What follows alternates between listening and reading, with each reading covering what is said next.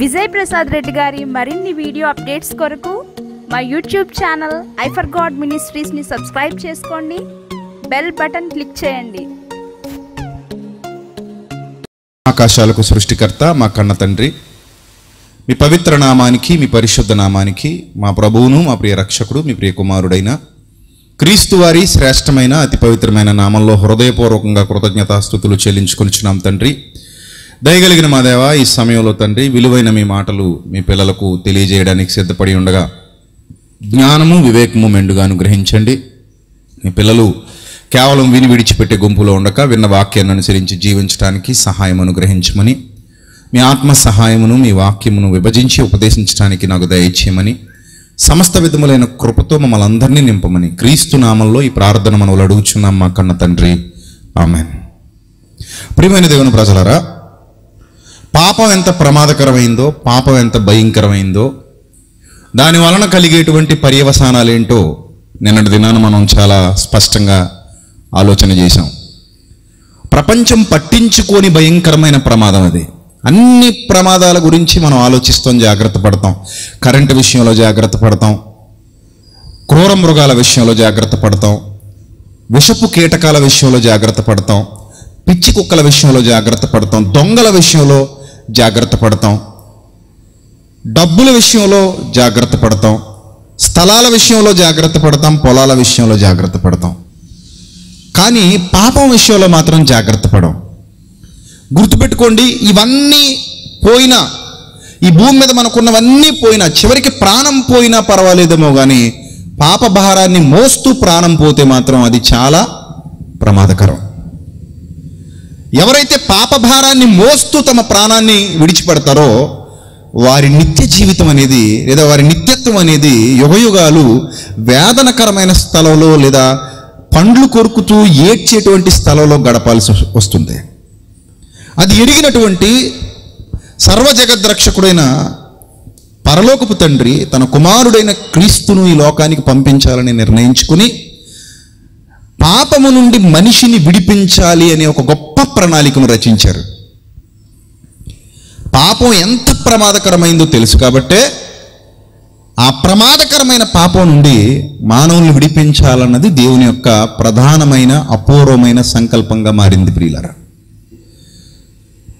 అది ఎంత విషపూరితమైనదో ఎన్ని సంవత్సరాల పాటు మన జీవితాన్ని బాధకు అప్పగించబోతుందో భరించ భరించలేనటువంటి లేదా వర్ణింప సఖ్యము కానటువంటి ఎంత వర్ణనాతీతమైన వేదన మన జీవితాలను ఆవరించబోతుందో ఎరిగినటువంటి పరలోకపు తండ్రి ఆ విషయంలో మనల్ని కాపాడాలని ప్రయత్నం చేశారు. అప్పుడే ఈ భూమి మీదకు క్రీస్తును పంపించాలన్న సంకల్పం వెలుగులోకి వచ్చింది. జగత్తుకు పునాది వేయబడక మునిపే నిర్ణయం జరిగినప్పటికీ ఒకానొక సమయం ఆసన్నమైనప్పుడు యుక్త కాలముల యందు భూమి మీదకు తన కుమారుడైన క్రీస్తును పంపించాలన్న ఆలోచన దేవుడు వెంటనే కొనసాగించారు. వెంటనే అది జరిగింది. ముందస్తు ప్రణాళికలో ఉన్నప్పటికీ రెండు వేల సంవత్సరాల క్రిందట ఈ భూమి మీద యేసుక్రీస్తు ప్రభు వారి జననం ఆయన ఈ భూమి మీద శరీరధారిగా అడుగు పెట్టడం దాని వెనుకున్న ప్రధానమైన కారణం ఒకటే. పాపము నుండి మనిషిని విడిపించాలి. చాలామంది అనుకుంటున్నట్టుగా యేసుక్రీస్తు ప్రభువారు మత మార్పిడి చేయడానికి రాలా? ఆయనకు అవసరం లేదు. ఒక మనిషిని మతం మార్చటం వల్ల లేదా తన మతంలో కలుపుకోవటం వల్ల శరీర సంబంధంగా మరో మనిషికి ప్రయోజనం ఉండొచ్చేమో. అది ఏ మతం వారైనా సరే తమ గుంపును లేదా తమ వర్గాన్ని పెంచుకోవటం వల్ల తమ వర్గాన్ని పెంచుకోవటం వల్ల శరీర సంబంధంగా ఆ మతం వారికి ఉపయోగం ఉండొచ్చేమో. కానీ ప్రభుకి ఏమైనా ఉపయోగం ఉంటుందా? రక్షకుడికి ఏమైనా ఉపయోగం ఉంటుందా? సమస్తాన్ని సృష్టించిన సృష్టికర్తకి ఏమైనా ఉపయోగం ఉంటుందా? కలిగి ఉన్నది ఏది ఆయన లేకుండా? కలగలేదు ఆయనకి ఏమైనా ఉపయోగం ఉంటుందా? ఆయనకు అలాంటి అవసరాలు లేవు అలాంటి ఆలోచనలు లేవు. సమస్త భూమి సర్వభూమికి రాజైన సర్వోన్నతుడైన దేవుని కుమారుడైన. సమస్తము ఆయనదే. నిన్ను మతం మార్చడం వల్ల ఆయనకు వచ్చే ధనరాశులు ఏమీ లేవే. ఆయనకు వచ్చే వెండి బంగారాలు ఏమీ లేవే. ఆయన కలిసి వచ్చే ఆస్తులు అంతస్తులు ఏమీ లేవే. ఏమీ లేవు. కాబట్టి ప్రభు ఈ లోకానికి వచ్చింది మత మార్పిడి కోసం కాదు. చాలామంది మూర్ఖులు అనుకుంటున్నట్టు మనం మతం మారడం వల్ల ఆయనకు వచ్చే ప్రయోజనం కూడా ఏమీ లేదు. మరి ప్రభు యొక్క ఆలోచన ఏంటి? ప్రభు యొక్క ఉద్దేశం ఏంటి? ప్రభు యొక్క తలంపులేంటి? అని అంటే ప్రభు నిన్ను నన్ను స్వచ్ఛంగా ప్రేమించాడు అంతే నమ్మవా? నమ్మనండి. ఆయనకి నాకు ముఖ పరిచయం లేదు కదా. నన్ను ఎలా నన్ను ప్రేమించాడంటే నేను ఎలా నమ్ముతాను? అంటావా? మరి నువ్వు ఎవరినైతే లవర్ అని చెప్తున్నావో అతనికి నీకు ఇంతకు ఇంతకు ముందు ఎప్పుడైనా ముఖ పరిచయం ఉందా? నువ్వు ఎవరినైతే అమ్మాయిని ప్రేమించాలని వెంటబడుతున్నావో లవ్ ఎట్ ఫస్ట్ సైట్ అంటున్నావో వాళ్ళకి నీకు ఇంతకు మునుపు ఎప్పుడైనా ముఖ పరిచయాలు ఉన్నాయా? లేవు. ముఖ పరిచయం లేకుండానే నువ్వు ఆ మనిషిని ఏం చేశావు? ప్రేమించావు. ఆ మనిషి నిన్ను ప్రేమిస్తున్నానంటే దాన్ని స్వీకరించావు. చూసావా కానీ యేసుక్రీస్తు ప్రభు వారు ప్రేమను ఈ ప్రపంచానికి చాలా స్పష్టంగా రుజువులతో ఆధారాలతో పరిచయం చేశారు. ఏ ప్రేమికుడు కూడా తన ప్రేమను రుజువు చేసుకుని నీ ప్రేమను పొందడు. తన ప్రేమను రుజువు చేసుకోకుండానే నీ ప్రేమను పొందుతాడు. ఏ భార్య కూడా తన ప్రేమను రుజువు చేసుకుని భర్త ప్రేమను పొందదు. ఏ భర్త కూడా తన ప్రేమను రుజువు చేసుకుని భార్య ప్రేమను పొందడు. పెళ్ళైన దగ్గర నుంచి లేదా పెళ్ళికి ముందు నుంచి వీళ్ళు ఒకరినొకరు ఇష్టపడితేనే పెద్ద పెళ్ళి చేసుకుంటారు. ఒకరినొకరు ఇష్టపడి ఏం చేసుకుంటారు? పెళ్ళిళ్ళు చేసుకుంటారు. అక్కడి నుంచి ఒకరినొకరు ఇష్టపడుతూనే ఉంటారు. ఒకరి పట్ల ఒకరికి ఆకర్షణ ఉంటుంది. పురుషుడు తన తల్లిని తండ్రిని విడిచి భార్యను హత్తుకున్ను అన్నట్టు ఇద్దరి మధ్య ఆకర్షణ ఉంటుంది. కానీ యేసుక్రీస్తు ప్రేమ అలాంటిది కాదు. యేసుక్రీస్తు ప్రేమ ముందే నీకు రుజువు చూపినటువంటి ప్రేమ. అసలు ఆయన ప్రేమను గురించి వర్ణించటానికి మన జీవితాలు సరిపోవు. ఈ ప్రపంచం అర్థం చేసుకున్న కోణం వేరేసు క్రీస్తు గురించి. మానవుడు ఎంత ఘోరమైన దుష్టత్వంలో పడిపోయాడో మానవుడు ఎంత భయంకరమైన బురదగుంటలో పడిపోయాడో మానవుడు ఎంత ఘోరమైన చీకటిలోను అజ్ఞానంలోను ఇరుక్కుపోయాడో పైనుండి చూసిన ప్రభువుకి అర్థమైంది. ఏ విషయమైనా మనకు బాగా అర్థం కావాలంటే ఎక్కడి నుంచి చూడాలి? చెప్పండి ఎక్కడి నుంచి చూడాలి?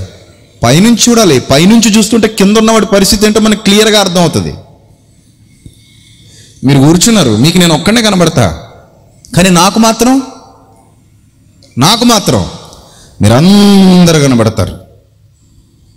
ఎందుకు నాకు మీరు అందరు కనబడతారు? మీకెందుకు నేను ఒక్కడే కనబడుతున్నా? అంటే మీరు నాకు అభిముఖంగా ఉన్నారు. సో మీరు నాకు కనబడుతున్నారు కానీ మీ మీకు మీరు కనబడట్లా. ఎందుకంటే నేను పైన ఉన్నాను మీరందరూ క్రింద ఉన్నారు అలాగే యేసుక్రీస్తు ప్రభువు పైనుండి వచ్చినవాడు. ఆయనే చెప్తాడు నేను పైనుండి వచ్చిన వాడును పైనుండి వచ్చాడు. అసలు పైనుంచి కిందకెందుకు రావాలంటే కిందున్నవాడు పడిపోయాడు కాబట్టి పైనుంచి ఆయన కిందికి వస్తే తప్ప వీడిని లేపటం ఎవరికీ సాధ్యం కాదు కాబట్టి నిన్ను ఆ పాపపు ఊబిలో నుండి లేపాలంటే ఆయనే రావాలి కాబట్టి ఆయన పైనుండి కిందికి వచ్చాడు అందుకే నేను పైనుండి వాడను అన్నాడు. ప్రియులారా మీరు జాగ్రత్తగా ఆలోచించండి. పడిపోయిన స్థితిలో నుండి దేన స్థితిలో నుండి భయంకరమైన స్థితిలో నుండి రక్షణ లేని స్థితిలో నుండి ఆత్మ నశించిపోయే స్థితిలో నుండి నిన్ను బయటికి తీసుకొచ్చి ఒక నిత్య జీవితాన్ని నీకు ప్రసాదించాలన్నదే ప్రభు యొక్క అపూర్వమైన అనాది సంకల్పం. పాపం చాలా ప్రమాదకరమైనది. ఎంత ప్రమాదకరమైనది అంటే ఆ పాపపు బారిన పడితే ఆ పాపం కోరల్లో ఇరుక్కుపోతే మరలా దేవుని దగ్గరికి వెళ్ళేటువంటి అవకాశం మనిషికి ఉండదు. ఇదివరకు బ్రిటిష్ వారి పరిపాలనా కాలంలో అండమాన్ జైలు ఉండేది. ఒకసారి నేను అండమాన్కి వెళ్ళినప్పుడు ఆ జైలు సందర్శించాను. ఆ జైల్లో ఎంత భయంకరమైన పరిస్థితులు ఉండేవో నా కళ్ళతో చూశాను. ఎలా వాళ్ళను వేధించేవారు ఎలా బాధించేవారో అక్కడ ఎంతమంది ఎంత దారుణాతి దారుణంగా చిత్రవద అనుభవించేవారో మనం అక్కడికి వెళ్తే చూడొచ్చు. అవన్నీ వాళ్ళు ఎక్స్ప్లెయిన్ చేస్తారు అక్కడ. ప్రిల్లరా ఒక్కసారి మన భారతదేశం నుండి బ్రిటిషోడు అండమాన్ జైలుకి ఎవరినైనా తరలించాడు అనుకోండి ఇక మళ్ళీ పుట్టిన గడ్డను చూడడం ఆ మనిషికి సాధ్యం కాదన్నమాట. ఒక్కసారి అండమాన్ జైలుకి వెళ్ళాడా? ఇక మళ్ళీ తప్పించుకోవటం కానీ తిరిగి రావటం కానీ ఇంక లేనట్టే మర్చిపోవడమే. చావు వరకు ఎక్కడుండాలి? అక్కడే ఉండాలి. అలాంటి చెరసాలది. చాలా ప్రమాదకరమైన చెరసాల చాలా భయంకరమైన చెరసాల. ఒక్కసారి అక్కడికి వెళ్ళామంటే తప్పించుకోవడం అంటే ఇక పులి నోట్లో నుంచైనా తప్పించుకోవచ్చేమో సింహం నోట్లో నుంచైనా తప్పించుకోవచ్చేమో నేను మింగేసిన అనకొండ నోట్లో నుంచైనా తప్పించుకోవచ్చేమో కానీ అండమాన్ జైలు నుంచి తప్పించుకోవడం సాధ్యం కాదని అందరూ ఫిక్స్ అయిపోయారు ఒక్కసారి అక్కడికి వెళ్ళామంటే ఇంక మనం చచ్చిపోవడమే. ఇక బతకటం వీలు పడదు బతికే అవకాశం ఉండదు. ఆ చచ్చిపోయి అక్కడే శవాలుగా మారిపోయి సముద్రంలో పడవేయబడి చేపలకు ఆహారం అయిపోవడం తప్పితే మరలా మనం పుట్టిన గడ్డను మనం చూడలేము. దానికి కారణం ఆ చెర వాళ్ళు బంధించి తీసుకుపోయారు. ఆ చెర అంత ప్రమాదకరమైంది. కానీ దానికంటే ప్రమాదకరమైన చెర పాపము అనేటువంటి చెర. పాపము అనేటువంటి చెర. ఒకవేళ అండమాన్ జైల్లో నుంచి అయినా తప్పించుకోవచ్చేమో. అనకొండ నోట్లోకి వెళ్ళైనా బయటికి రావచ్చేమో. సింహం నోట్లో నుంచి అయినా బయటికి రావచ్చేమో. పులి నోట్లో నుంచి అయినా బయటికి రావచ్చేమో. ఒక్కసారి మనిషి పాపంలో పడ్డాడు అంటే ఆ ప్రతిఫలం తప్పక అనుభవించి తీరాలి. అది రూల్. తప్పు రాత్రి అదే చెప్పాను ఒక మర్డర్ చేసి పోలీసులకు తెలిసిపోయిన తర్వాత పబ్లిక్గా మర్డర్ చేసి నువ్వు బయట మళ్ళీ మామూలుగా ఇష్టం వచ్చినట్టు తిరిగడానికి అవకాశం ఉంటుందా? తీసుకెళ్ళి లోపలేస్తారా? తీసుకెళ్ళి లోపలేస్తారు కదా. మానవ చట్టాల్లో లొసుగులు ఉంటాయి కాబట్టి తప్పించుకోవచ్చేమో లేదా శిక్ష తగ్గించుకోవచ్చేమో కానీ దేవుని చట్టంలో లొసుగులు ఉండవు. ఆయన శాసనం అంటే శాసనమే ఆయన చట్టం అంటే చట్టమే. ఆయన నీతికి విరోధంగా ఏది చేయువాడు కాడు. ఆయన పరిశుద్ధుడు ఆయన యథార్థవంతుడు ఆయన నీతిమంతుడు. నీతికి కట్టుబడినవాడు ఆయన. అలాంటి నీతిమంతుడు తన పిల్లలు పాపంలో పడిపోయినప్పుడు తన పిల్లలు పాపం అనే చెరలోనికి వెళ్ళిపోయినప్పుడు వాళ్ళకి తెలియకుండానే వాళ్ళు ఆ పాపంలో పడి ఆ పాపాన్ని పులుముకొని ఆ పాపం అనే రొచ్చులో దొర్లుతూ పొర్లాడుతూ ఆ పాపాన్ని పెంచి పోషించుకుంటూ నానాటికి నానాటికి శిక్షార్హులుగా మారిపోతున్నారు. ఎంత ఎక్కువ పాపం చేసుకుంటే అంత బాధ అంత బరువును భరించాలి. ఎంత ఎక్కువ పాపం చేసుకుంటే అంత బరువును భరించాలి. ఒక మనిషిని ఇక్కడ నిలవబెట్టినప్పుడు ఆ భుజం మీద పాతిక కేజీలు రైస్ బస్తా పెట్టాను అనుకోండి. ఇక్కడ ఎంతమంది మోయగలరు కూర్చొని పాతిక కేజీల రైస్ బస్తా? చేతి చూపించండి. ఇక్కడికి వచ్చి మిమ్మల్ని కూర్చోబెట్టి మీ భుజాల మీద ఒక పాతిక కేజీల రైస్ బస్తా పెడితే నేను మొయ్యగలను అన్న వాళ్ళు చేతులు ఎత్తండి. సో పాతిక కేజీలకు చాలా చేతి చాలా చేతులు లేచాయి కదా. ఇక్కడ మీకు ఒక విషయం చెప్పడం మర్చిపోయాను. టైం చెప్పలేదు నేను. మొయ్యగలనని అందరూ అనేశారు కదా. అందరూ మొయ్యగలరు కదా చాలా మంది చేతులు ఎత్తేశారు. ఆడపిల్లలు కూడా చేతులు ఎత్తున్నారు కొంతమంది. ఓ పాతి కేజీలే కదా మోస్తా ఉన్నాయా అని. నేను టైం చెప్పలేదు గుర్తుపెట్టుకున్నారు లేదో మీరు ఏమనుకున్నారంటే ఇలా పెట్టుకుని అలా దించేయడం అనుకున్నారు. అందుకని అందరు చేతులు ఎత్తారు. ఇప్పుడు టైం చెప్తున్నాను నువ్వు చచ్చేంత వరకు మొయ్యాలి. దించడానికి వీలు లేదు. ఎంతమంది మోయగలరు ఇప్పుడు చేయొత్తండి దించడానికి వీలు లేదు. చచ్చేంత వరకు నువ్వు స్నానం చేసినా దాంతోనే చేయాలి. ఇంకా బరువు పెరుగుద్ది. మరి నీళ్ళు పడ్డాక బరువు పెరగదా? నువ్వు వర్షంలో నడిచినా దాంతోనే నడవాలి. నువ్వు పడుకున్నా దాంతోనే పడుకోవాలి. నువ్వు లేచినా దాంతోనే లేవాలి. నువ్వు ఎక్కడ పోయినా దాంతోనే పోవాలి. బస్సు ఎక్కినా దాంతోనే ట్రైన్ ఎక్కినా దాంతోనే. ఏ హైదరాబాద్ మెట్రో అన్నా అనుకో దెబ్బకి వెనక పడిపోతుంటావు అనమాట ఆ బరువుతో ఎక్కలేక ఎందుకంటే మామూలుగా ఎక్కడమే కష్టం తోసేస్తుంటారు. ఉదయాన్నే బిజీ బిజీ కాబట్టి. సో పాతి కేజీల బరువు జీవితం అంతా మోయడం అంటే కష్టం. రైట్. ఇప్పుడు పాతికి యాభై చేసాం అనుకో. యాభైని డెబ్బై ఐదు చేస్తే డెబ్బై ఐదుని వంద చేస్తే వందకి అందరూ పడుకుంటారు. అందరూ బస్తా కిందే ఉంటారు ఇంచుమించు. ఎంత పనుడైనా ఒక అరగంట మొయ్యగలడేమో వంద కేజీల బస్తా అంతేనా? బాగా జిమ్ బాడీ ఉన్నోడిని బాగా బాడీ బిల్డర్ని తీసుకొచ్చి ఒక వంద కేజీల బస్తా మీద పెట్టేసి కూర్చోబెట్టి తల మీద పెట్టి కూర్చోబెట్టి లేదా భుజం మీద కూర్చో కూర్చోబెడితే ఎంతసేపు కూర్చుంటాడు? చెప్పండి ఎంతసేపు కూర్చుంటాడు? బస్తాలు మోసేవాళ్ళు ఎవరైనా ఉన్నారు ఇక్కడ? మీరే చెప్పగలరు కరెక్ట్గా? వంద కేజీలు బస్తా మీరు ఎంతసేపు ఉంచుకోగలరు భుజం మీద? ఎంతసేపు ఉంచుకుంటారు? రోజు బస్తాలు మోసే కూలియే మంచి పటుత్వం కలిగిన వాడే బస్తాను అలా లేపి మీద వేసుకుంటారు కొంతమంది. ఇలాంటి వాడే ఏమంటున్నాడు? ఒక ఐదు నిమిషాలకు మించి ఉంచుకోవడం కష్టం. లేదా మహా గట్టిగా పళ్ళు బిగించి పట్టుకుంటే ఓ పావు గంట లేదా అరగంట. తర్వాత? తర్వాత తీసి కింద పెట్టేయాల్సిందే లేదా పడిపోవాల్సిందే మీద పడిపోయింది అనుకోండి ఊపిరి ఆడక చావాల్సిందే. అంత భారం అది. ఇప్పుడు మనకు భారం తెలియట్లేదు కదా. ఏం తెలియట్లేదు? భారం తెలియట్లేదు. అదే చెప్పాను నీకు మత్తులో ఉన్నప్పుడు నొప్పి తెలీదు. ఒక్కసారి మత్తుదలగానే ఏమైపోద్ది? నొప్పి తెలిసిపోద్ది. తాగుబోతోళ్ళు ఉంటారు. ముందే అడుగుతారు డాక్టర్లు బాబు నీకు ఆపరేషన్ చేద్దాం అనుకుంటున్నాం నువ్వు రోజు ఆన్లో ఉంటావా ఆఫ్లో ఉంటావా? అని అడుగుతారు. అబ్బాయి నేను ఎప్పుడు స్విచ్ ఆన్ చేయలేదన్నావు అనుకో ఒక రకం మత్తిస్తాడు రోజు ఫ్యాన్ తిరుగుద్దండి అన్నావు అనుకో. రోజు స్విచ్ ఆన్ చేస్తూనే ఉంటానండి ఫ్యాన్ తిరుగుతూనే ఉంటుంది నడు రోడ్ల మీద ఉడుతూనే ఉంటుంది శుభ్రం చేస్తూనే ఉంటుంది ఫ్యాను. అన్నావు అనుకో అప్పుడు కొంచెం డోసు పెంచుతాడు. ఎందుకంటే నువ్వు తాగుబోతుడివి. నీకు అదే మొత్తిస్తే మధ్యలో లేచి కూర్చుంటావు. అప్పుడు డాక్టర్లు కంగారు అయిపోవాలి. అందుకని నీకు కొంచెం డోస్ పెంచాలి. కానీ ఎంత డోసు పెంచినా మత్తు వదిలేసిన తర్వాత నొప్పి తెలుస్తుందా తెలీదా? తెలుస్తుందా? మత్తులో ఉండగా భారం తెలీదు. మత్తు వదిలేగానే ఏం తెలుస్తుంది? భారం తెలుస్తుంది. భారం తెలుస్తుంది. అలాగే పాపంలో పొరులాడుతున్నంతసేపు నీకు ఆ భారం తెలీదు.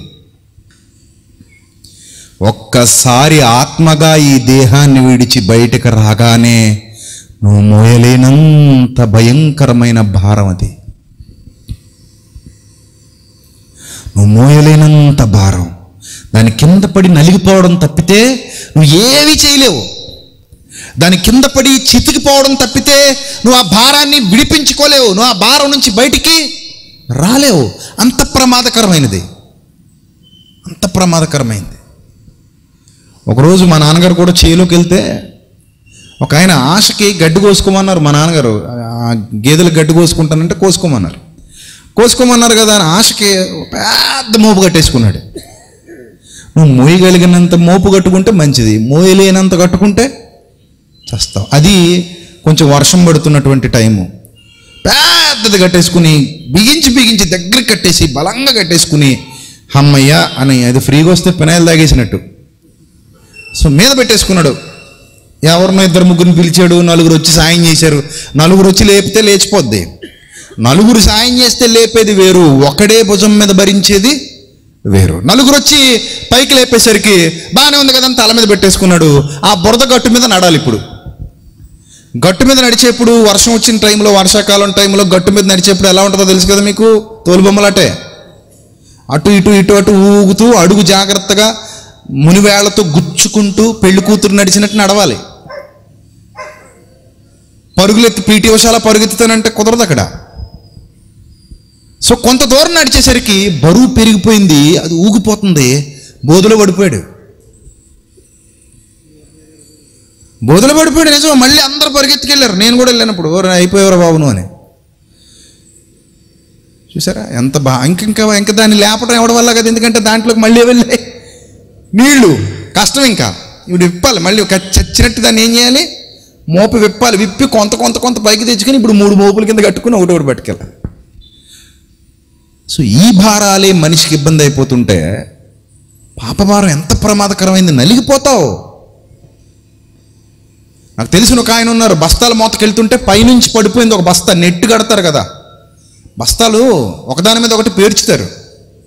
అలా పేర్చిన బస్తా దొంతరా పైనుంచి ఒక బస్తా కూలీ మీద పడిపోయింది వీపు మీద పడి పాపం వెనుపూస విరిగిపోయింది. తను మోసేదే రోజు కానీ పైనుంచి పడటం వల్ల ఏమైందంటే పవర్ పెరిగి వెన్నుపూస విరిగిపోయింది. ఇప్పటికే ఆయన మంచం మీద ఉన్నాడు. భారం మీద పడితే ఎంత ప్రమాదమో శరీరంతో ఉన్న మనకు అర్థమవుతుంది శరీరానికి పడుతున్నటువంటి భారం. కానీ పాపభారం ఆత్మకి ఎంత ప్రమాదకరమో ఆ పాపభారం రోజు పెంచుకోవటం వల్ల పాతికిని యాభై చేసి యాభైన డెబ్బై ఐదు చేసి పాతికనే లైఫ్ లాంగ్ మోయడం కష్టం. మళ్ళీ దాన్ని యాభై చేసి దాన్ని డెబ్బై ఐదు చేసి దాన్ని వంద చేసి దాన్ని నూట పాతిక చేసి బతుకుదామనా చేద్దామనా? చెప్పండి. బ్రతుకుదామనా చేద్దామనా?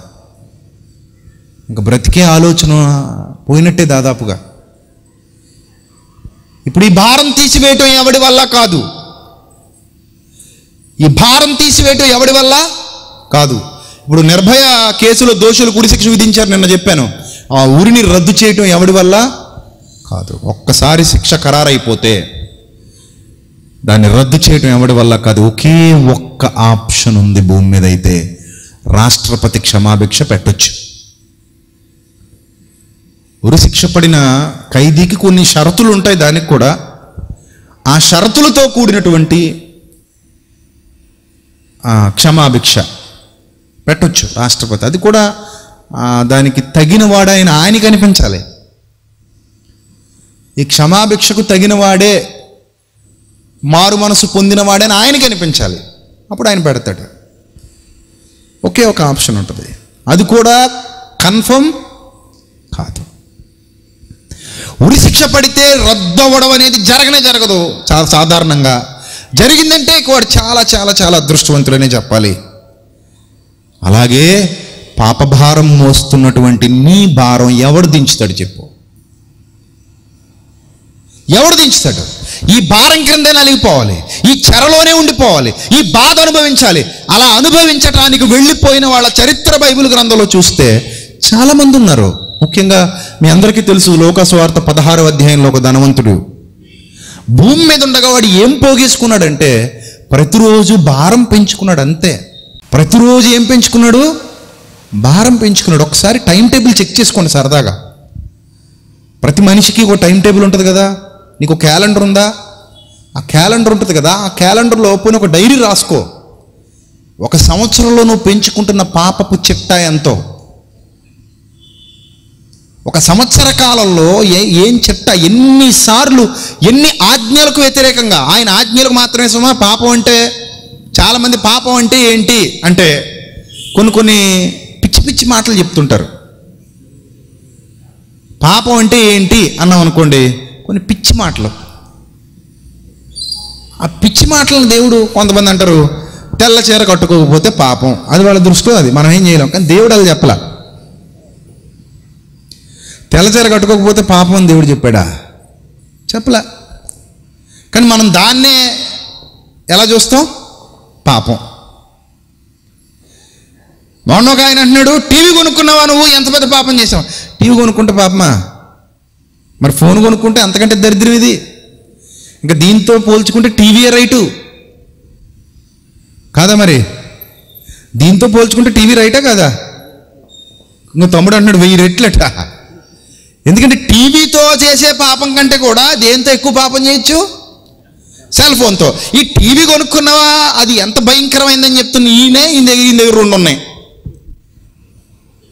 ఏవి? ఇవి. అంటే ఈయన దృష్టిలో కొనుక్కోవడమే పాపం. అందులో ఏదో చూస్తే లేదా భయంకరమైన వల్గారిటీ చూస్తే లేదా నాశనకరమైనది చూస్తే పాపం అని చెప్పట్లే. కొనుక్కుంటేనే పాపం అట. ఏ టీవీలో మంచివి రావా ఏంది? వార్తలు రావా? న్యూస్ రాదా? టీవీలో మంచివేమి రావా? ఇంక అంత చెడే వస్తుందా? ఆ చెడు కోసమే కొనుక్కుంటావా టీవీ? మంచి కూడా వస్తుంది కదా. మనం మనం మనం మనకు ఉపయోగపడేవి కూడా ఉంటాయి కదా. మనకు ఉపయోగపడే ఇన్ఫర్మేషన్ కూడా వస్తుంది కదా. సో కొంత కొందరు ఆలోచన విధానం చూడండి. ఎప్పుడు ఒకటే బండ గుర్తు పెట్టుకోండి. ఎప్పుడు ఒకటే బండ గుర్తు పెట్టుకోండి. పాపానికి నిర్వచనం మనుషులు చెప్పేది కాదు. మరి ఏది? ఏది? బైబిల్ చెప్పేదే. ఏం చెప్తోంది బైబిలు? ఆజ్ఞాతిక్రమమే పాపము. ఆజ్ఞను నువ్వు ఏదో టీవీతోనే కాదు సెల్ ఫోన్తో కూడా అతిక్రమించవచ్చు ఆజ్ఞాతిక్రమం చేయాలంటే నీకు సెల్ ఫోన్ ఎక్కువ తక్కువ? బాగా ఎక్కువ. టీవీ దాకా ఎర్లక్కర్లా? అర్థమవుతుందా? ఆజ్ఞాతిక్రమమే పాపం తప్ప తెల్లచీర కట్టుకున్నావు పాపం మల్లెపూలు పెట్టుకున్నావు పాపం లేకపోతే బొట్టు పెట్టేసుకున్నావు కాబట్టి ఇంక ఇది ఇంకా భయంకరమైన పాపం నరకానికి పోతావు. ఇవన్నీ వద్దండి. బైబిల్లో ఏదైతే ఆజ్ఞగా ఇవ్వబడిందో దేన్నైతే మనం తృణీకరిస్తున్నామో దేని ద్వారా అయితే దేవుడు బాధపడుతున్నాడో దేనిని మనం అనుసరించకపోవటం వల్ల సాతానుకు ఉపయోగపడుతున్నామో దేవునికి బాధ మిగులుస్తున్నామో అవి మాత్రమే పాపము తప్ప మనం ఏదో తింటే పాపం పాపం పడుకుంటే పాపం. ఒక ఆయనకి ఒంట్లో బాగలేదు. కానీ ఆయన ఎవరో సేవకుడు అన్నాడట నువ్వు అర్ధరాత్రి ఒంటి గంటకు లేచి ప్రార్థన చేస్తేనే దేవుడు కానీ కరుణిస్తాడు వేకోవరజామున లేదంటే నువ్వు పాపి అయిపోతావు అన్నాడట. ఈయన పాపం ఒంట్లో బాగోకపోయినా ఒంటి గంటకు లేస్తున్నాడు. ఒంటి గంటకు లేచిన తర్వాత నిద్ర పట్టట్లేదు. అలా మెల్లిమెల్లిగా నిద్రకు దూరం అయిపోయాడు. ఒంటి గంటకు లేవడం నిద్ర పట్టకపోవడం రాత్రి పడుకునేసరికి పదకొండు పన్నెండు అవడం. అప్పుడు నేను చెప్పాను ఆయనకి ఏందయ్యా బాబు అంటే ఒంటి గంటకు లేవాలట కదండి లేకపోతే వెంటాడు కదండి అంటే దేవుడు ఏమైనా టైం టేబుల్ ఇచ్చాడా నీకు? ఒంటి గంటకే లేవాలని దేవుడు ఏమైనా టైం టేబుల్ పెట్టాడా? పెట్టలేదండి ఆయన. నువ్వు ఏ సమయంలో ప్రార్థన చేసినా దేవుడు వింటాడు. నువ్వు ఎప్పుడు చెయ్యి. నువ్వు మరణ పడక మీద ఉండి ప్రార్థన చేసినా కూడా దేవుడు వింటాడు. అయితే నీ ప్రార్థన యథార్థమైనదై ఉండాలి. నువ్వు యథార్థవంతురాలివై యథార్థవంతుడివై ఉండాలి. నీతిమంతుల ప్రార్థన మాత్రమే ఆయన ఏం చేస్తాడట? వింటాడట. ఎవడైనను దేవభక్తుడై ఉండి ఆయన చిత్తము చొప్పున జరిగించిన ఎడల దేవుడు వాని మనవి ఆలకించును. ఆయన పాపుల మనవి ఆలకించడు. నువ్వు ఇంకా పాపంలోనే ఉంటే నువ్వు ఒంటి గంట నుంచి భరతనాట్యం చేసినా ఆయన పట్టించుకోడు. నువ్వు అర్ధరాంతరంతా అరిచి గీపెట్టినా ఆయన అసలు చెవులు మూసేసుకుంటాడు పట్టించుకోడు. ఒకరోజు ఒక ఆయన వచ్చి అంటాడు కదా నువ్వు షూ వేసుకు వాకింగ్ చెప్తున్నావు కదా నువ్వు చాలా పెద్ద పాపి అన్నాడు. నాకు అసలే కాళ్ళు నొప్పులు రా నాయన. షూ ఉంటే కొంచెం కాళ్ళు ఇన్ని. ఎంతసేపు నువ్వు కూర్చుని మరి నువ్వు కూర్చుని వాక్యం వింటున్నావు నువ్వు ఎంత పాపి అన్నాను నేను? మరి అంతే కదా.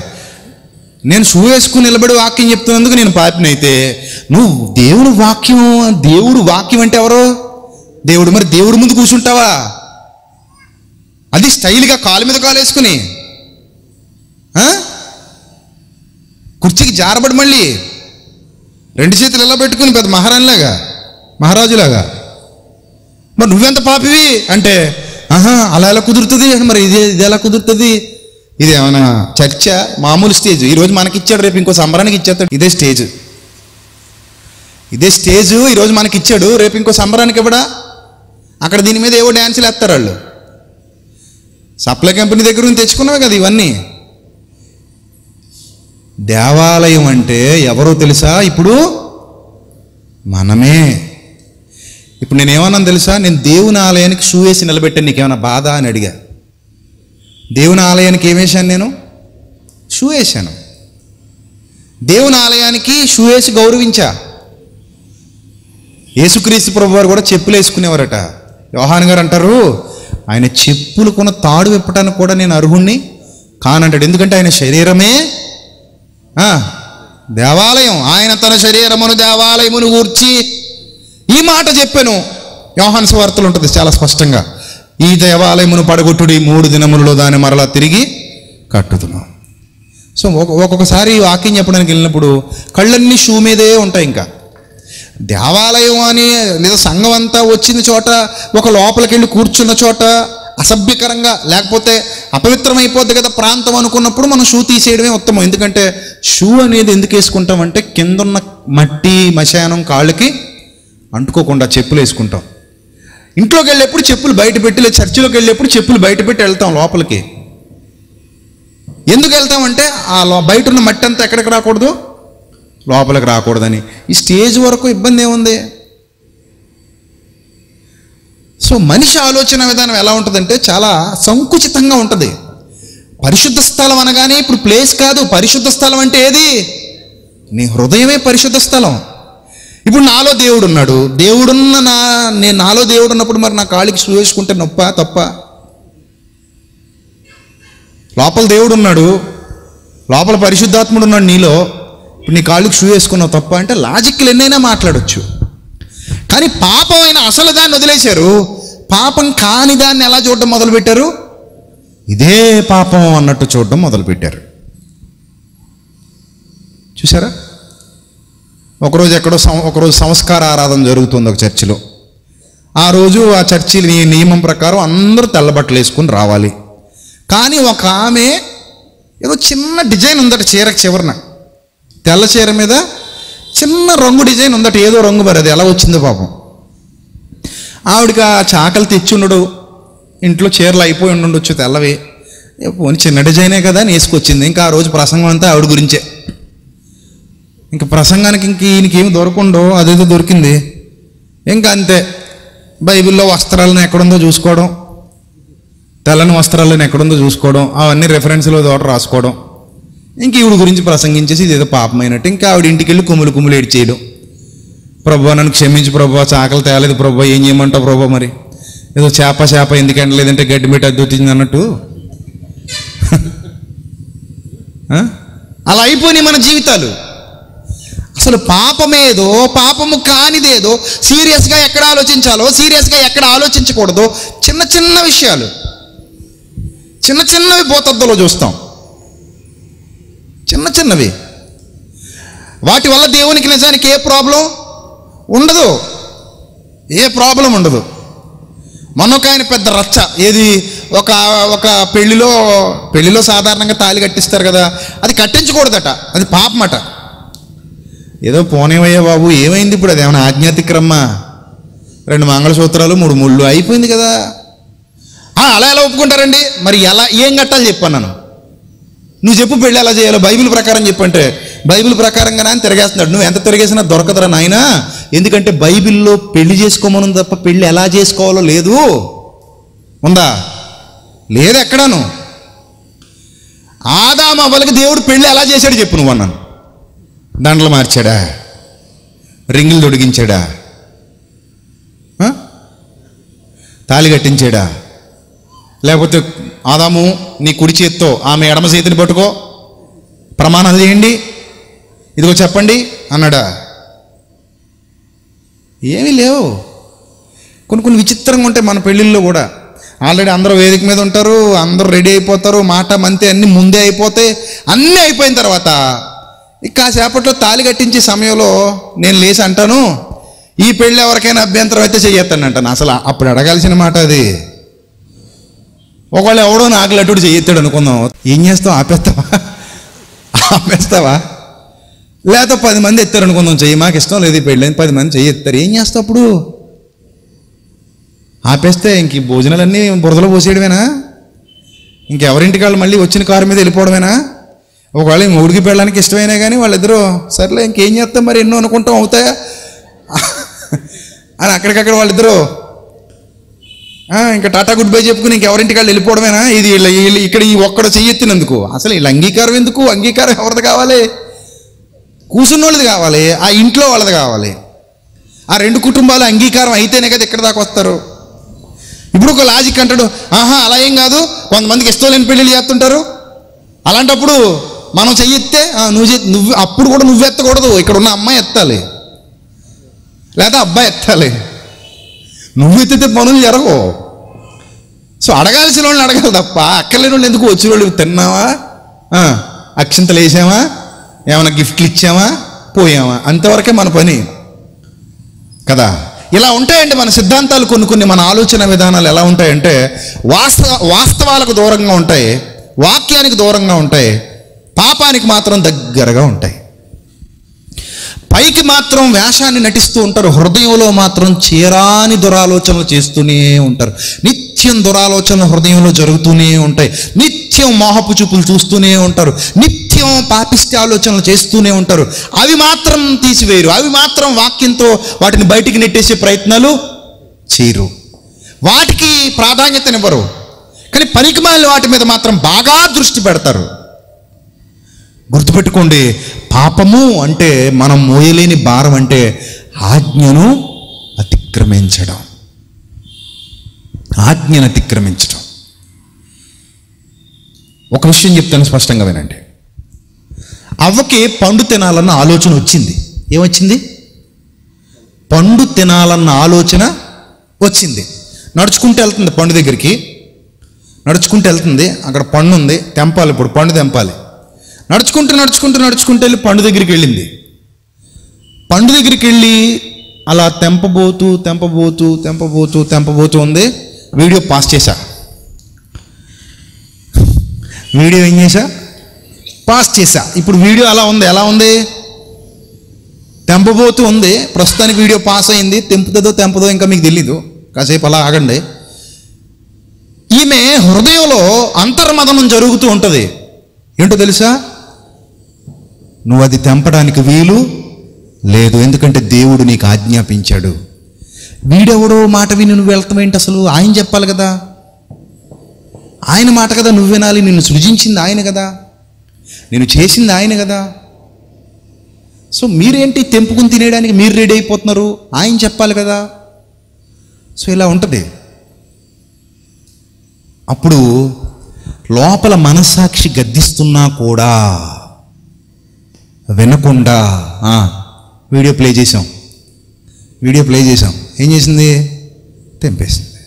కొంచెం రివర్సల్ ఆలోచిద్దాం దీన్నే. మళ్ళీ బ్యాక్ బ్యాక్వర్డ్ వెళ్ళింది చెయ్యి అలా పెట్టింది వీడియో పాస్లో ఉంది. అప్పుడు మనసాక్షి గద్దింపుకు లోబడి ఒక్కవేళ చెయ్యి తీసేసి అమ్మో అనుకుని వెనక్కిపోయింది అనుకోండి దేవుడు ఇప్పుడు ఆమెను శిక్షిస్తాడా? అభినందిస్తాడా? చెప్పండి. తెంపటానికి అక్కడ దాకా వెళ్ళావు కదా నువ్వు? అని తొక్కేస్తాడా? లేక ఎంతో మతనం లోపల జరుగుతూ జరుగుతూ జరుగుతూ జరుగుతూ జరుగుతూ అక్కడ దాకెళ్ళి అమ్మో వద్దులే ఎందుకు? దరిద్రం భారం మీద వేసుకోవటం. ఆ తర్వాత జరిగే పర్యవసానాలకు మనం మనం తట్టుకోలేము. ఎందుకు? ఇప్పటికే చాలా ఇబ్బందులు అనుకొని వెనక్కి నడుచుకుంటూ వెళ్ళిపోతే ఇప్పుడు దేవుడు అభినందిస్తాడా? శిక్షించేస్తాడా? చెప్పండి. మన జీవితాల్లో కూడా మనం ఏదైనా ఒక తప్పు చేద్దామన్న ఆలోచన వచ్చినప్పుడు ఖచ్చితంగా మన మనస్సాక్షి గద్దిస్తూనే ఉంటుంది. పండుదాకా వెళ్తాం తెంపేయాలి అని ట్రై చేస్తుంటాం. తెంపేయాలి తెంపేయాలి తెంపేయాలి తెంపేయాలి తెంపేయాలి. అక్కడ తెంపేంత వరకు కూడా నీ మనస్సాక్షి నిన్ను గద్దిస్తూనే ఉంటుంది. నీ మనస్సాక్షిని గద్దిస్తూనే ఉంటుంది. కానీ ఎక్కువ మంది పండు తిన్నాక ఎడుతుంటారు అది విషయం. ఆ ఏడుపు తినకముందు ఉంటే బాగుండేది. ఏడుపు ఎప్పుడు వస్తుంది? మోసపోయాక వస్తుంది మీకు ఏడుపు. మోసపోకముందు రాదు. పెట్టి పట్టుకుని అమ్మ నగలు నాన్న నాన్న డబ్బులు అన్ని పెట్టులో నింపేసుకుని బ్యాగ్ సర్దుకుని నైట్ నైట్ చెక్కేసేటప్పుడు ఏడుపు రాదు. అప్పుడు ఎలా వెళ్ళిపోతారంటే ఫుల్ ట్యాంకులోని బండిలోకి వెళ్ళిపోతారు. సో బురం వెళ్ళిన తర్వాత మొత్తం పెట్రోల్ అయిపోయిన తర్వాత బండి ఇంజిన్ మొత్తం నాశనం అయిపోయి బండి ఊరికి వచ్చేసాక అప్పుడు పొగ పొగ పొగ కొక్కుకుంటూ వస్తారు. ఇప్పుడు ఏడుపు ఎప్పుడు వచ్చింది? అంత అయిపోయాక. అసలు ఆ ఏడుపు ఎప్పుడు ఉండాలి? బ్యాగ్ సర్ది బట్టలు పెట్టి నీ రూమ్ తలుపు తీసుకుని అమ్మ నాన్న నిద్రపోతున్నారో లేదో మెల్లిగా చూసుకొని మెల్లగా బయటకు వచ్చి బీచ్ చివరి ఎక్కడో దిష్టి గుమ్మడికాయలా బండి మీద ఉంటాడాడు. అక్కడ వరకు వెళ్ళేంత వరకు నీకు ఆప్షన్ ఉంది ఇంకా. నీ గేటు తలుపు తీసేంత వరకు కూడా నీ మనస్సాక్షిని గద్దిస్తానే ఉంటుంది. అక్కడ ఆగిపోయినా నీ బతికేమైపోద్ది? బాగుపడుద్ది. కానీ ఆగో మనకి అక్కడ హార్న్ కొడుతుంటే ఎక్కడ ఆగుతావు? వెళ్ళిపోయి ఎక్కేస్తావు. మొత్తం పప్పు సాంబార్ అయిపోతాయి. అయిపోయిన తర్వాత తూర్పుకు తిరిగి దండం పెడతావు. వాడు కనబడ్డావు. బ్యాగ్ ఉండదు ఇప్పుడు ఇంటికి వెళ్ళాలా? బయటికి పోవాలో తెలియదు ఇలా ఎంతమంది వేశ్యా జీవితాలు జీవిస్తున్నారు తెలుసా? ఆ తర్వాత ఎవడో ఒకడు పట్టుకుంటాడు ఏ ఆటో డ్రైవరు లేదు ఈడే ఎవరికో అమ్మేస్తాడు తీసుకెళ్ళిపోతారు. తీసుకెళ్ళి ఇప్పుడు వేశ్యా గృహలో పడేస్తారు. అక్కడ నుంచి బయటికి రాలేక మా నాన్నలకు ఫోన్ చేయలేక ఆ పాపిష్టి పనికి మనసు ఒప్పుకోలేక ప్రతిరోజు చిత్రవద అనుభవిస్తూ బ్రతుకుతూ చావాలా బతకాలా అని తెలియక చచ్చిపోయిన వాళ్ళు కూడా చాలామంది ఉన్నారు. ఇప్పటికీ అదే వేదనలో బ్రతుకుతున్న వాళ్ళు కూడా కొందరు కొందరు జీవితాలు ఉన్నాయి అలాంటివి. అప్పుడు వాళ్ళకి అనిపిస్తుంది అయ్యో నేను ఆ రోజు ఆ బ్యాగ్ పట్టుకుని దరిద్రుని దరిద్రుడిని నమ్మి బయటికి వెళ్ళకుండా ఉంటే బాగుండే అని. మన జీవితం కూడా అంతే గుర్తుపెట్టుకో. పాప భారం పెంచుకునే కొలది ఎవరికి నష్టం? ఎవరికి నష్టం? నీకే నాకే. భారం పెంచుకునే కొలది మనకే నష్టం. ఆలోచన రావడం సహజం. దుష్టుడు నీకు ఆలోచన పుట్టిస్తూనే ఉంటాడు. ప్రతిరోజు వాడి పనే అది. నిన్ను పాడు చేయాలంటే నీ హృదయంలో ఏం పుట్టించాలి? ఆలోచన పుట్టించాలి. ఆలోచన పుట్టించకుండా నువ్వెందుకు పాడవుతావు? అందుకే ఎవరిని మింగుదునా అని గర్జించి సింహం వలె వాడు వెదకుచు తిరుగులాడుచున్నాడు. పాపపు ఆలోచన పుట్టిస్తాడు ఖచ్చితంగా వాడు. నీకు ఆ ప్రేరణ కలిగిస్తాడు. నీకు నీ కళ్ళ ముందు ఆ అవకాశాలన్నీ పెడతాడు. నిర్ణయం తీసేసుకున్నావా? ఆ తప్పు ఆలోచన వినేశావా? నష్టపోయినట్టే. చూడండి మీకు దానికి బెస్ట్ ఎగ్జాంపుల్ చూపిస్తాను. యోహాన్స్ వార్త పదమూడవ అధ్యాయము రెండవ వచనం చూడండి. వారు భోజనము చేయిచుండగా ఆయనను అప్పగించవలనని సీమోను కుమారుడు ఇస్కరియోతి యోధ హృదయములో ఎక్కడ? ఎక్కడ? హృదయములో అపవాది ఇంతకు ముందు ఆలోచన పుట్టించి ఉండెను. చూడండి ఒక పక్క అపవాది ఇస్కరియోత్ అనేవాడి హృదయంలో ఏం పుట్టించేశాడు? ఆలోచన పుట్టించేశాడు. ఆ ఆలోచనను తీసేయటానికి ప్రభు ప్రయత్నిస్తున్నాడు. ప్రభు ప్రయత్నిస్తున్నాడు. ప్రభు ఏమంటాడంటే మీరును పవిత్రులు కానీ మీలో అందరూ పవిత్రులు కారు. మీరు అందరూ పవిత్రులు కారు. అంటూనే వాడి పాదాలు కూడా ఆయన ఏం చేస్తాడు? కడుగుతాడు. వాడి పాదాలు కూడా కడుగుతాడు. అది ఆయన తగ్గింపుకు నిదర్శనం. ఎంత తగ్గింపు చూడండి అయింది. వాడి పాదాలు కూడా కడిగి పై వస్త్రం వేసుకున్న తర్వాత కూర్చుని వాడితో మాట్లాడుతూ ఉంటాడు. వాడితో మాట్లాడుతూ ఉంటాడు. వాడితో మాట్లాడుతూ ఉంటాడు. ప్రభు ఎంత తగ్గించుకున్నాడో ఇస్కరియోతును మార్చడానికి వాడి పాదాలు కూడా కడుగుతున్నాడు. చూసారా ఆల్రెడీ హృదయంలో ఏం పుట్టింది? ఆలోచన పుట్టింది. ఇంకా కార్యరూపం దాల్చలేదు. కార్యరూపం దాల్చక ముందే వాడిని కాపాడుకోవాలన్న ప్రభు తాపత్రయం కనబడుతుంది. వాడి పాదాలు కూడా కడుగుతున్నాడండి. అయినా వాడికి కనికరం కలగలేదండి దౌర్భాగ్యుడికి. పాదాలు కడిగేంత తగ్గించుకున్న ప్రభు ఆ దౌర్భాగ్యుడికి ఏం కలగలేదు? కనికరం కలగలేదు. ప్రేమ కలగలేదు ఆయన మీద. ప్రభు ఏంటి? నా పాదాలు కడగడం ఏంటి? నా స్థాయి ఏంటి? నా బ్రతుకేంటి నా జీవితం ఏంటి అసలు? నా బ్రతుకే పాటిది నా జీవితమే పాటిది. ప్రభు ఏంటి? నా పాదాలు కడగడం ఏంటి? ఏం పర్లేదు లేని కడిగించుకున్నాడు స్టైల్గా. కడిగించుకున్నాడు. ఆ తర్వాత ఆ ఆలోచన ఏమైంది ఇప్పుడు? ఏమైంది? క్రియారూపం దాల్చింది. చూసారా? ఇరవై ఏడవ వచనం చూడండి ఇప్పుడు. అదే యోహాను సువార్త పదమూడవ అధ్యాయము ఇరవై ఏడవ వచనం. వాడు ఆ ముక్క పుచ్చుకొనగానే సాతాను వానిలో ప్రవేశించెను. అంటే పూర్తిగా వాడు సాతాను వశమై పోయాడు ఇంకా పూర్తిగా వాడు ఇంకా భారం మోయాలి ఇక ఆ భారం మోయాలి ఆ భారం మోయాలి. ఎంత ప్రమాదమో చూడండి. యేసు నీవు చేయించున్నది త్వరగా చేయమని వానితో చెప్పగా. నేను అంటాను ఇక్కడ వానితో అనగానే ఎవరెవరితో చెప్పినట్టు? మీకు ఇది బాగా అర్థం కావాలంటే మీకు ఇది బాగా అర్థం కావాలంటే పేతురు నీకు ఇది దూరమగునుగాక అన్నాడు. అన్నాడా? ప్రభు చేయి పట్టుకుని పేతురు ఏమన్నాడు? నీకు ఇది దూరమగునుగాక అన్నాడు. అప్పుడు ఆయన ఏమనాలి? ఏమనాలి? పేతురు నా వెనకకు పొమ్ము అనాలి. అనాలా? అన్నదెవరు? అన్నదెవరు? మనకు వినబడుతున్నది పేతురు కానీ పేతురు చేత అనిపిస్తున్నది ఎవరు వెనకుండి? సాతాను. అందుకే వెంటనే అన్నాడు సాతానా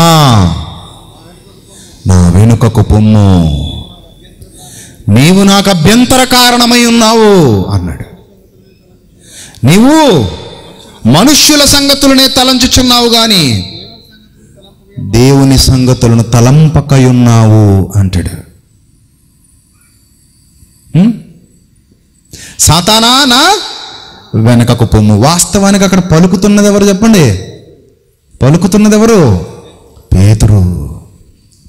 కానీ పేతుర్ని ప్రేరేపిస్తున్నది ఎవరో ప్రభువుకు తెలుసు. పేతురు ఆ మాట తనంతట తానుగా అనట్లేదన్న వాస్తవం కూడా ప్రభుకి తెలుసు. వెంటనే పేతురు సెట్ అయిపోయాడు. పేతురు ఇంక ఎదిరించలా? పేతురు సెట్ అయిపోయాడు. పేతురికి అర్థమైపోయింది అమ్మో నేను తప్పు మాట్లాడుంటానని అనుకున్నాడు అంతే. కానీ ఇస్కరియోతు ఏమవ్వలేదు సెట్ అవ్వలేదు. నువ్వు వెళ్ళి నువ్వు త్వరగా చేయి. నువ్వు చేయాలనుకున్న త్వరగా చేయి అన్నాడు. నిజమే గద్దింపుకు లోబడేవాడు సెట్ అయిపోతాడు. గద్దింపును విననొల్లని వాడు ఇంకోవాడు ఎప్పటికీ సెట్ అవడు ఖచ్చితంగా ఖండితంగా వాక్యం చెప్పినప్పుడు చాలామంది జీవితాల్లో మార్పు వచ్చేస్తుంది. చాలామంది జీవితాల్లో మార్పు వచ్చి వాళ్ళ బ్రతుకుని ఇమీడియట్గా మార్చేసుకుంటారు నిర్ణయాలు గట్టిగా తీసుకుంటారు. సాతానుతో జరిగే పోరాటం అది ఇంకా. ఒక పక్క వాక్యం ఒక పక్క దుష్టుని ప్రేరణ. ఈ వాక్యం అనే ఖడ్గంతో దుష్టుని ప్రేరణ తెగనరికి ఇక మా కొద్ది రోత బ్రతుకని వాళ్ళు వెంటనే ప్రభు వైపు తిరుగుతారు. వాళ్ళు సేఫ్ సైడ్ ఉన్నట్టు. కొంతమంది వాతవేయబడిన మనస్సాక్షి ఉంటుంది. వాళ్ళ తప్పును కూడా సమర్థించుకోవడానికి వాళ్ళు ట్రై చేస్తూనే ఉంటారు. తప్పు చేస్తే ఒప్పుకొని విడిచిపెట్టు. కనికరింపబడతావు. తప్పు జరగడం మానవ సహజం. నీ బ్రతుకులో ఒకవేళ తప్పు జరిగిందా పశ్చాత్తాపంతో కన్నీటితో ప్రభు పాదాల దగ్గర ఒప్పుకుని విడిచిపెట్టు. కనికరింపబడతావు కదా. అబ్బే అలా కాదు. దాన్ని కప్పుకునే ప్రయత్నం చేస్తారు. కప్పుకోవటానికి ట్రై చేస్తూ ఉంటారు. అలా కప్పుకోవటానికి ట్రై చేస్తూ ట్రై చేస్తూ ట్రై చేస్తూ మరింత భారాన్ని పెంచుకుంటారు. ఇప్పుడు ఇస్కరియోతు ఆ భారాన్ని పెంచుకుని బయటికి పోయాడు. చూసారా? ఇప్పుడు పండు తింపేంత వరకు ఏముంది ఇక్కడ? చెప్పండి ఏముంది? ప్రభు యొక్క ప్రయాసం ఉంది. ఏదో విధంగా వాడిని వెనక్కి లాగాలి కానీ వాడికి వినే పరిస్థితిలో లేడు వెళ్ళిపోయాడు. నువ్వు చేయనది త్వరగా చేసేనాయన పో అని వానితో చెప్పగా వాడు అక్కడి నుండి బయటికి పోయాడట. వాడు అక్కడి నుంచి వెళ్ళిపోయాడు. వాడు ఆ ముక్కబుచ్చుకొని వెంటనే బయటికి వెళ్ళిపోయాడు. వెంటనే వెళ్ళిపోయాడట బయటికి. ఎందుకంటే వాళ్ళు వాడు ఉన్నాడు కదా ఇంకో మాట విండు పద పద పద పద పద తీసుకెళ్ళిపోతాడు తొందరగా. ఇలా రోజు భారం పెంచుకుంటే ఎంత భయంకరమైన పరిస్థితి తెలుసా? అలాగే మనం కూడా భారాన్ని పెంచుకుంటూ వచ్చాం. ఒక్కసారి రాత్రి ఆలోచించి సోదర సోదరి నీ భారం ఎంత ప్రమాదకరమైంది. ఆ భారం ఇంకెంతకాలం మోస్తావు? ఎన్ని సంవత్సరాలు మోస్తావు? ముప్పై ఎనిమిది ఏళ్ళుగా పడున్నోడు ఏమన్నాడు ఇక పాపం చేయకు అధికమైన కీడు? నీకు కలకొనున్నట్లు. మరి ఎక్కువ కీడు నీకు? కలక్కున్నట్లు ఇక మీదట వెళ్ళి ఏం చేయొద్దు? పాపం చేయొద్దు. ఈ విషయం గురించి మాట్లాడట్లేదేటి ప్రభు. అయ్యో ముప్పై ఎనిమిది ఏళ్ళు ఉన్నావని ఆయన ఎలా భరించావో ఇన్నాళ్ళు అని అన్నాడా? ఆ? చాలా బాగా ఊర్చుకున్నారా నాయన నువ్వు అని ఏమని అన్నాడా? ఇంకా అవేమండ అసలు తెలుసు ఆయనకి. ఇది పెద్ద ఇంపార్టెంట్ కాదురా నాయన. ఇది పెద్ద ఇంపార్టెంట్ కాదు. రాళ్ళతో కొట్టడానికి అందరూ వచ్చేసారా? దేవాలయం దగ్గర తీసుకొచ్చి ఆమెను కూర్చుండబెట్టారా? కూర్చుండబెట్టి అందరూ రాళ్ళు వేయటానికి రెడీగా ఉన్నప్పుడు మీలో పాపము లేనివాడు ఎవడో? వాడు ఫస్ట్ ఆమె మీద రాయి వేయండి అన్నాడు. ఎవ్వరూ రాయి వేసే సాహసం చేయలేదు. అప్పుడు ప్రభు చివరిగా ఏమంటారు తెలుసా? అమ్మా ఎవరునూ నీకు శిక్ష విధింపలేదా? లేదు ప్రభు. ఎవ్వరు నిన్ను కొట్టలేదా? లేదు ప్రభు. నేను నీకు శిక్ష విధింపను. నెక్స్ట్ ఏంటి? నెక్స్ట్ ఏంటి? ఇక మీదట వెళ్ళి పాపము చెయ్యొద్దు. చూడండి. యోహాను సువార్త ఎనిమిదవ అధ్యాయము. యోహాను సువార్త ఎనిమిదవ అధ్యాయం పదకొండు వచ్చిన యేసు తల ఎత్తి చూచి అమ్మా వారెక్కడ ఉన్నారు? ఎవరు నీకు శిక్ష విధింపలేదా? అని అడిగినప్పుడు ఆమె లేదు ప్రభువా. అనెను. అందుకు యేసు నేనును నీకు శిక్ష విధింపను. నీవు వెళ్ళి ఇక పాపము చెయ్యకుమని ఆమెతో చెప్పాను. ఇక భారాన్ని పెంచుకోకు. ఇక భారాన్ని పెంచుకోకు. అది నువ్వు తీర్చుకోలేని భారం. తీర్చుకోవటం నీ వల్ల కాని భారం.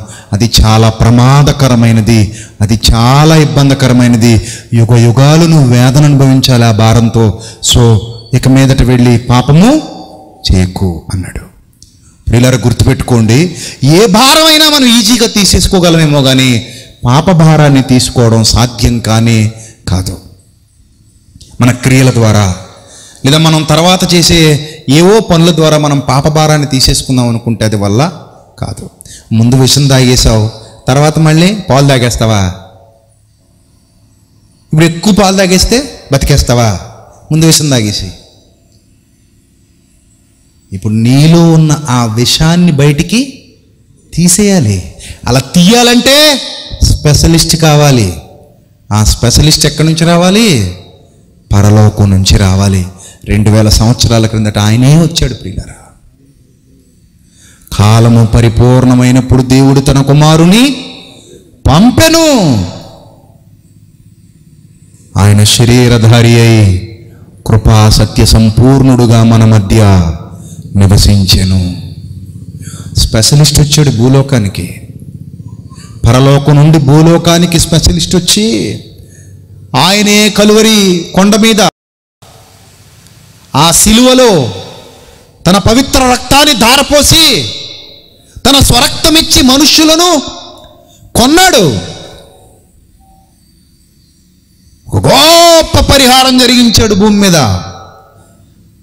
అందుకే మీ అందరికీ తెలిసిన మాట ఇప్పుడు అవసరం కాబట్టి మరలా గుర్తు చేస్తున్నాను. ప్రతి చర్చి మీద రాస్తారు. ఏమన్నా తెలుసా? ప్రయాసపడి.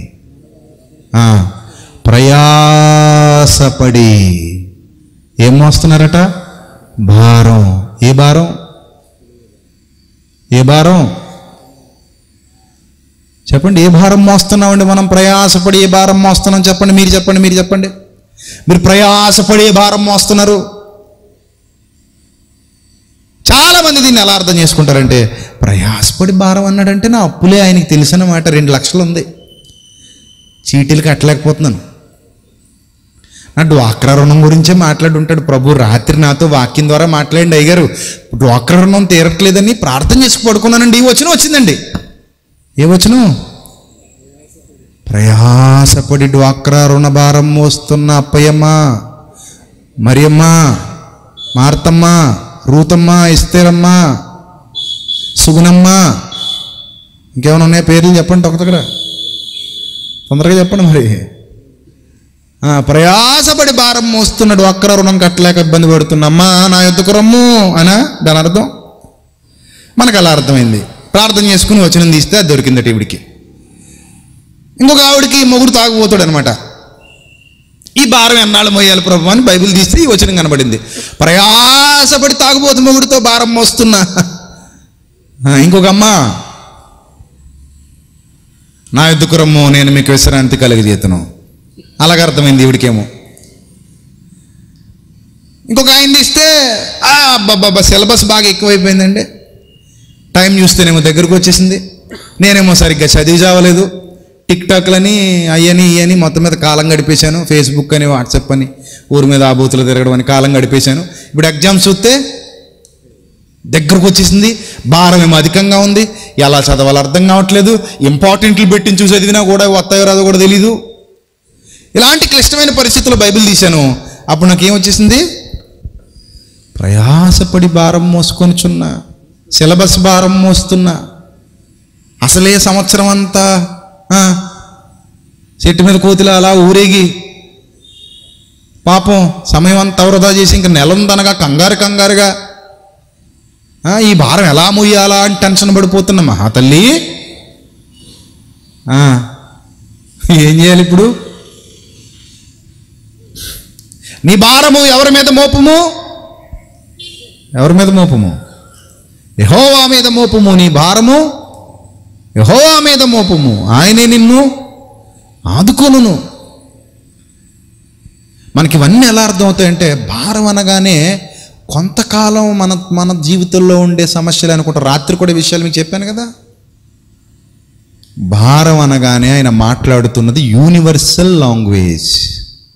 ఏంటది?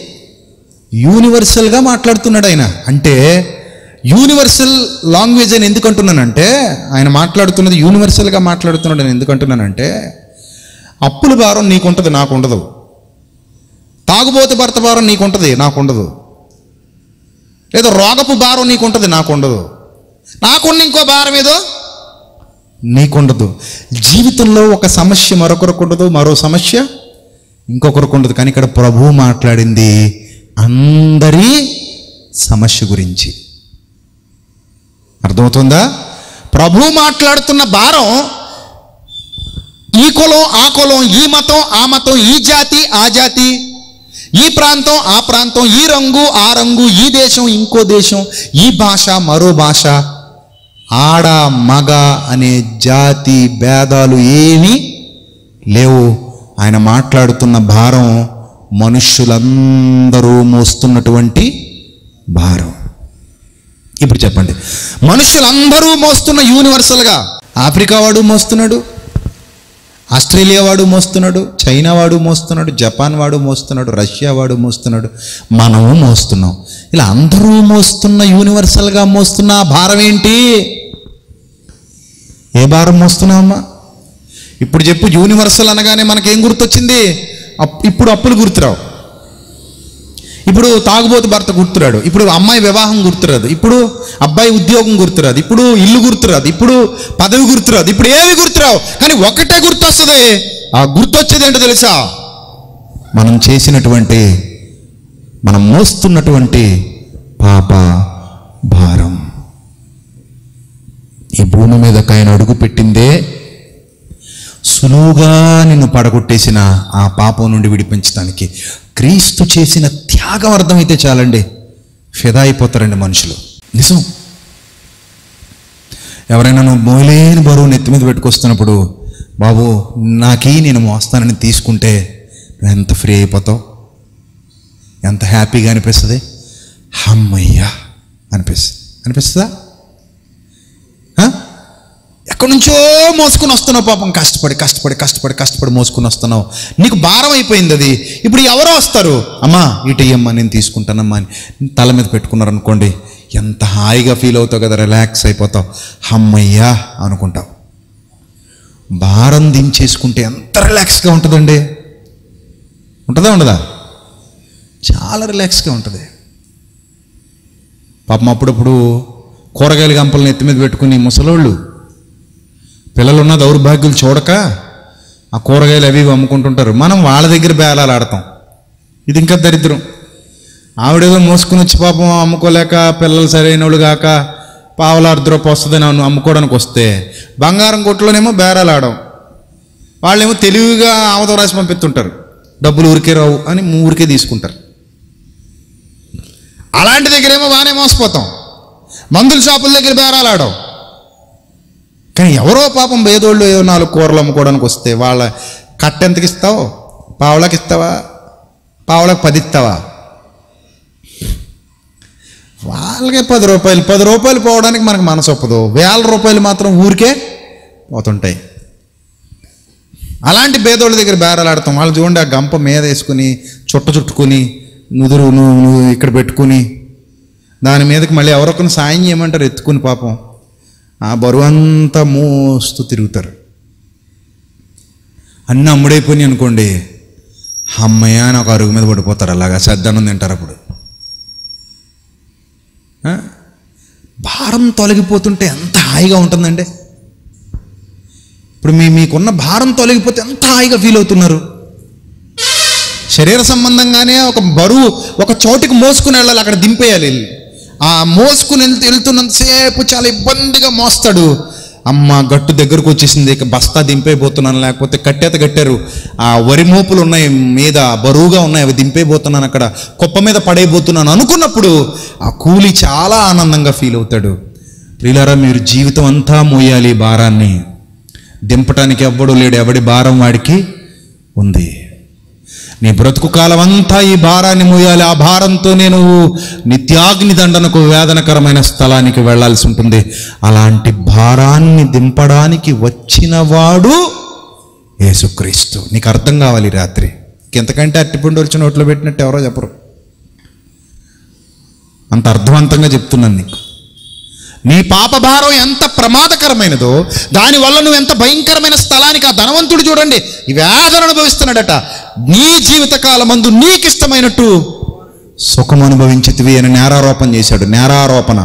పాపానికి పెంచుకుంటూ భారాన్ని పెంచుకుంటూ వెళ్ళావు. ఆ భారమే ఈ రోజు నీ స్థితికి తీసుకుని వెళ్ళిపోయింది. ఆ భారాన్ని దించడానికి వచ్చిన వాడే యేసుక్రీస్తు. నీ బరువు నేను మోస్తానన్నాడు. అందుకే ప్రయాసపడి పాప భారము మోసుకొనుచున్న సమస్త జనులారా. ఆయన మాట్లాడుతున్నది పాపము అనే భారం గురించి. ఆయన పాపులను పిలువచ్చి తిని అంటాడు. పాపులను రక్షించుటకు క్రీస్తు యేసు లోకమునకు వచ్చనను మాట నమ్మదగినదియు తిమోతి రాసిన మొదటి పత్రిక మొదటి అధ్యాయం పదిహేను వచ్చిన పూర్ణాంగీకారమునకు యోగ్యమైనదియునై ఉన్నది. ఆ భారం తీసివేయటానికి ప్రభు ఈ లోకానికి వచ్చాడు ప్రియులరా. మనందరి భారాన్ని తొలగించడానికి ప్రభు ఈ లోకానికి వచ్చాడు ప్రియులరా. ఎప్పుడైతే నువ్వు ప్రభునందు విశ్వాసం ఉంచుతున్నావో నువ్వు ఫ్రీ అయిపోతున్నావు. నీ భారం ఆయన మీద వేసేసి. నీ భారం ఆయన తీసుకుంటున్నాడు. నీ భారం ఆయన మీద వేసేసి ఫ్రీ అయిపోతున్నావు. ఎప్పుడైతే ఆయన ఎంత విశ్వాసం ఉంచి మారు మనసు పొంది పాప క్షమాపణ కొరకు హృదయంలో నిశ్చయించుకుని నీటి బాప్తిస్మానికి సిద్ధపడ్డావో ప్రభువును రక్షకునిగా అంగీకరించి ఆయన దేవుని కుమారుడిని హృదయంలో విశ్వసించి ఎప్పుడైతే నువ్వు కొత్త జీవితానికి అడుగులు వేశావో ఆ రోజే ఫ్రీ అయిపోతున్నావు. నీ పాప భారాన్ని తొలగించడానికి యేసుక్రీస్తు లోకానికి వచ్చాడు. ఎంత గొప్ప అవకాశం ఇచ్చాడు చూడండి.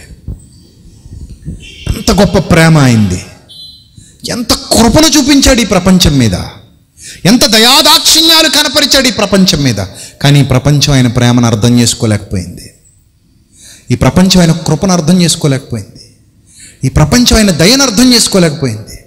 ఈ ప్రపంచం ఆయన మహావాత్సల్యాన్ని అర్థం చేసుకోలేకపోయింది. ప్రియులారా ఆలోచించండి రాత్రి. నీ నా పాప భారం కొరకు మనం అడుగక మునుపే. ప్రభువా నా భారం ఎత్తుకో అని నేను అడుగక మునుపే.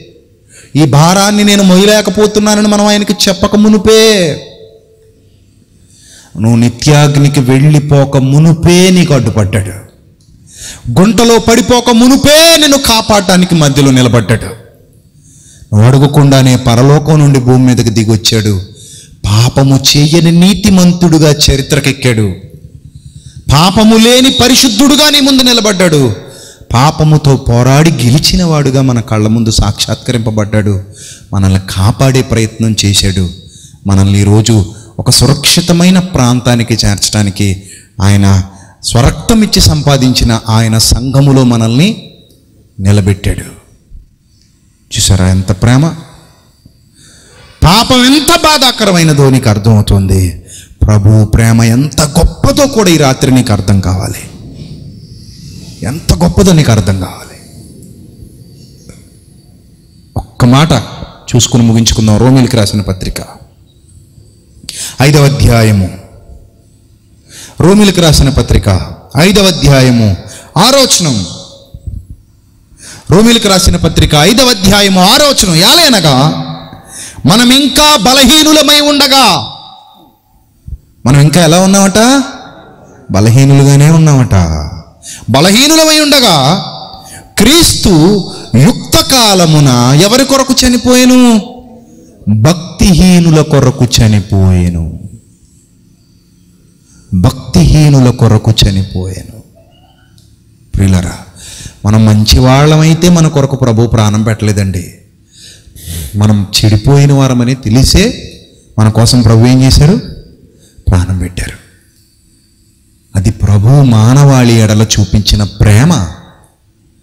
మానవాళి రక్షణ కొరకు ఆయన చేసినటువంటి గొప్ప సంకల్పం పాపం అనే భారం నుండి నేను విడిపించడానికి ఆ పాపపు కాడి విరగొట్టడానికి దాన్ని నీ మీద నుండి తీసివేయటానికి ఆ భారాన్ని నీ మీద నుండి తీసివేయటానికి ప్రభు మన కొరకు చేసినటువంటి గొప్ప త్యాగం. ఇది అర్థమైతే మనం ఆయన్ని విడిచిపెట్టగలవా ఇది అర్థమైతే మనం ఆయన్ని విడిచి బ్రతకగలవా ఇది అర్థమైతే మనం ఆయన కోసం జీవించకుండా ఉండగలవా లేదండి. ఆయన ప్రేమను వర్ణించడానికి జీవితం సరిపోదు. ఈ సభలేం సరిపోతాయి. ఈ సభలేం సరిపోతాయి. ఆయన ప్రేమను వర్ణించాలంటే అది ఆకాశము కంటే విశాలమైనది భూమి కంటే భారమైనది. చాలా గొప్పది. రేపటి దినాన ఆయన ప్రేమను గురించి మరిన్ని ఉన్నతమైన సంగతులు నేర్చుకుందాం. సులువుగా చిక్కులు పెట్టు పాపములో పడిపోకుండా ఎలా తప్పించాలని ప్రభు కోరుతూ మనకి జాగ్రత్తలు చెబుతున్నారో నేర్చుకుందాం. రేపటి దినాన త్వరపడి రండి అనేకులను వెంట పెట్టుకుని ప్రభు మిమ్మల్ని మీ కుటుంబాల్ని సిద్ధపరిచి దీవించి తన కృపతో నింపి ఆయన అమూల్యమైన మాటలతో ఆశీర్వదించునుగాక. ప్రార్థన చేసుకుందాం తలలు వంచండి. సర్వకృపానిధి కనికరం కలిగినటువంటి మా కన్న తండ్రి దయగలిగిన మా దేవ ఇంతవరకు విలువైన మీ జ్ఞానవాక్కులు మాకు అనుగ్రహించారు. ప్రభు ఏమిచ్చి మీ రుణం తీర్చుకోగలం తండ్రి? మాతో నాతో మా అందరితో సూటిగా మాట్లాడుతున్నందుకు స్తోత్రం ప్రభు మీ మాటల్ని విడిచి వెళ్ళిపోకుండా తండ్రి మీ ఆజ్ఞల మార్గమును పరిగెత్తగలిగే భాగ్యాన్ని మాకు ఇవ్వండి ప్రభు మీ ఆజ్ఞలను అనుసరించి నడవగలిగే భాగ్యాన్ని మాకు ఇవ్వండి తండ్రి. ఏ బ్రతుకును మీరు కోరుతున్నారో ఆ బ్రతుకునే మేము కనపరుచుకోవడానికి తండ్రి. మాతో నాతో మా అందరితో ప్రభు సూటిగా మాట్లాడుతున్నందుకు స్తోత్రం ప్రభు విని మీ పిల్లలు అపార్థం చేసుకునేవారుగా కాక అర్థం చేసుకుని వాటిని గ్రహించి మీ అందు నిలువబడి తండ్రి మీ శక్తిని మీ పరిపూర్ణతను ప్రభు సంపాదించుకుని తండ్రి మీ యొక్క ప్రేమలో మీ యొక్క కృపలో వర్ధిల్లడానికి సహాయం చేయమని సమస్త ఘనత మహిమా ప్రభావములు మీకే చెల్లిస్తూ మా కొరకు తిరిగి రానేఉన్న మా ప్రభువును మీ కుమారుడు మా ప్రియ రక్షకుడైన యేసుక్రీస్తు వారి శ్రేష్టమైన నామంలో ఈ ప్రార్థన మనవులు అడిగి వేడుకొనిచున్నాం మా కన్న తండ్రి. ఆమెన్. అందరికీ వందనాలు. May God bless you all thank you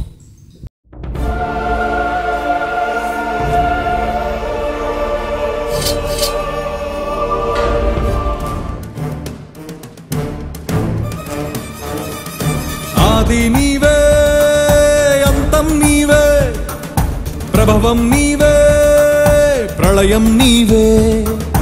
అల్ఫయు నీవే ఓమఘయు నీవే విలయం నీవే స్థిర నిలయం నీవే. గగనం భువనం సకలం నీవే జగతిని నడిపే జ్యోతివి నీవే. సమరం అమరం సర్వము నీవే అన్ని నామాలు ప్రణమిల్లే సర్వోన్నత నామం నీవే. సర్వోన్నత నామం నీవే.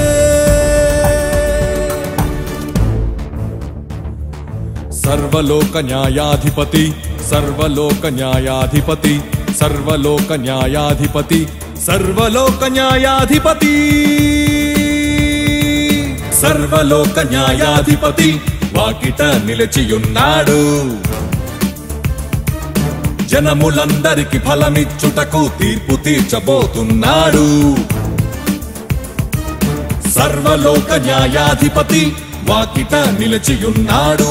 జనములందరికి ఫలమిచ్చుటకు తీర్పు తీర్చబోతున్నాడు. వేల దూతలతో బూరధ్వనులతో మేఘమండలము పైన